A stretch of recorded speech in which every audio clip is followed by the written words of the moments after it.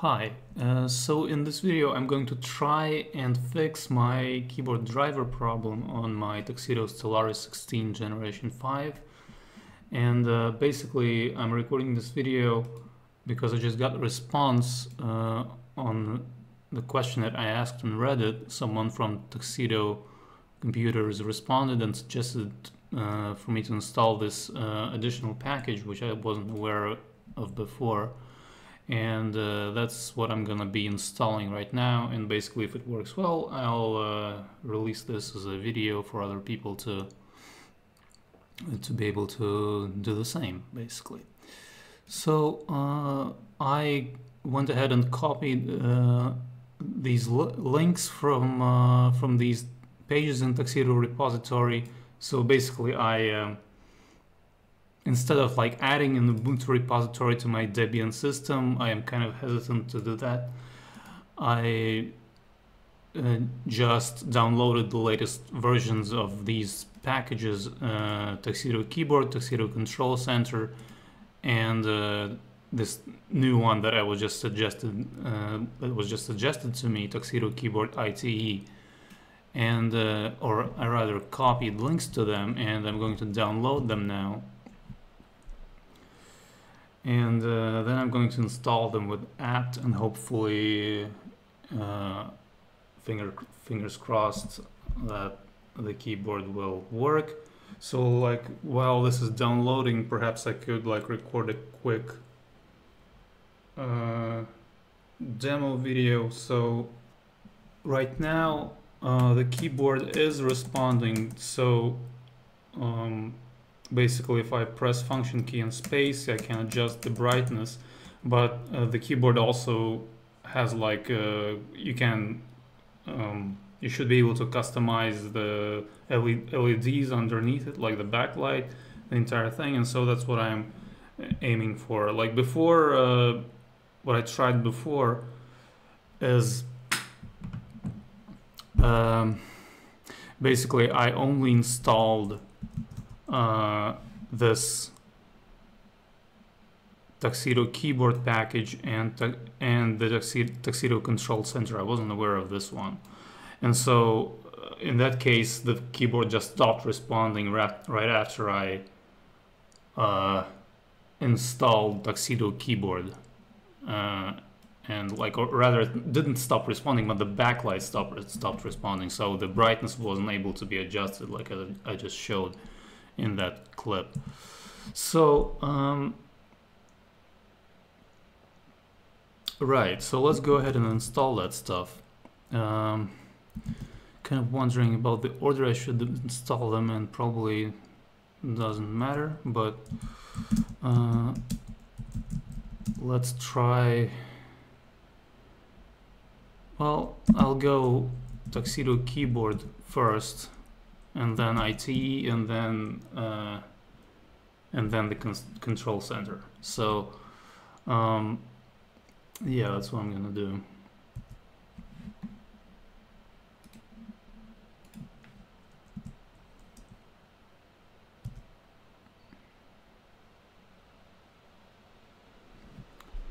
All right, so Tuxedo keyboard is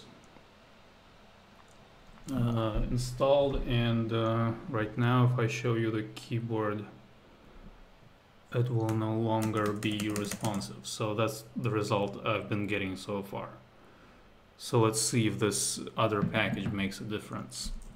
Um, alright so that's Tuxedo keyboard ITE and uh, doesn't seem to have any dependencies but okay so. So let's see.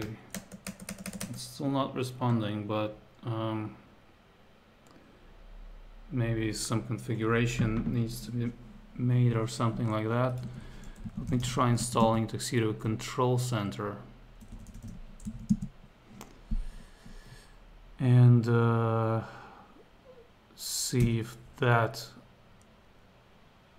uh, if Tuxedo Control Center sees uh, the um, the keyboard because there's a section in it where you're supposed to be able to customize the LEDs.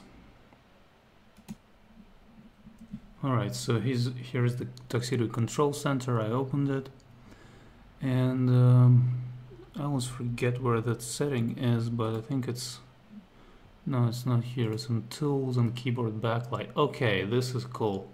So, and yeah, the keyboard, let me show you that. Uh, the backlight I can see I, I don't know at what point it went on probably while, while I launched uh, the control center but let actually since this is, seems to be working I'll, I'll go ahead and put my uh, phone camera on uh, on a tripod so I can mess with it and see what uh, what it's capable of. Alright, so uh, I put my phone on a tripod and now I'll, I'm start I'm gonna start uh, recording there. So uh, let's see. So uh, this seems to have worked so thanks to uh, to Chris from Tuxedo Computers I really appreciate uh, that he suggested this so let's see let's try changing oh look at that like you can change the backlight color. I never had a keyboard like that before. This is really cool. So basically it does what what you would expect it to do. I'm glad that it's working. Really, really glad. Uh, brightness can be adjusted here. Everything works. Awesome. So I guess like what more can you ask for, right? Uh, uh, everything seems to be responsive. Um, let's see the rest of the Tuxedo Control Center while while I'm at it. So I'll I'll stop the that phone recording so that I don't have like too much footage to to deal with later. And um, so that was really the only thing that I noticed so far about Tuxedo Control Center that wasn't working. It was this kind of connection of it with the keyboard. As you can see, like the dashboard shows uh, the CPU temp uh, and frequency and uh, fan uh, rotation speed and uh, GPU temperature and fan rotation speed. So that is working. Uh, then in the profile section you can set up different uh, like different um, power management profiles and then um, yeah I never I, I haven't tried this yet so I'm not gonna just like try and do it on the spot. Uh, this is something that uh, I probably should like spend some time trying out first before making a video about it but this seems to be like I don't see any indications of any failures uh, so probably okay. Uh, this change crypt password thing probably will only work on Tuxedo OS that's my guess because uh, I mean I set up encryption with a different system although I don't know not sure what it does, but it's probably a Tuxedo OS only thing, and I'm running Debian. Shutdown timer. Uh, the webcam, I'm not gonna touch that because I'm um, I'm recording with a webcam right now. I don't want to to accidentally mess with the OBS. Aquaris is uh, for their like, so this laptop is capable of uh, like you can buy this Tuxedo Aquaris device and you can uh, like water cool your system instead of like uh, using fans and uh, so this is uh, available but I don't have that device so I can't say much more about this than uh, than this. And then uh, he, I guess these are the, like the power management profiles that are active uh, or yeah that are in use. You can change the language to German and back to English. There's a support uh, section. And uh, there's an info section with some just like basically an about page as far as I can tell and uh, just some information about the company and uh, and about the Tuxedo Control Center itself. And so yeah, this is basically it. Like Tuxedo Control Center, like I haven't tested the the profiles yet, but I'm gonna do that later. I just like wanted to do a quick overview right now since I'm recording this. Um, Alright, so basically this is it. Uh, like I said, thanks to Chris for the suggestion that worked. Really appreciate it. I'm gonna release this video so that other people can hopefully find it and uh, like get things fixed um, uh, right away.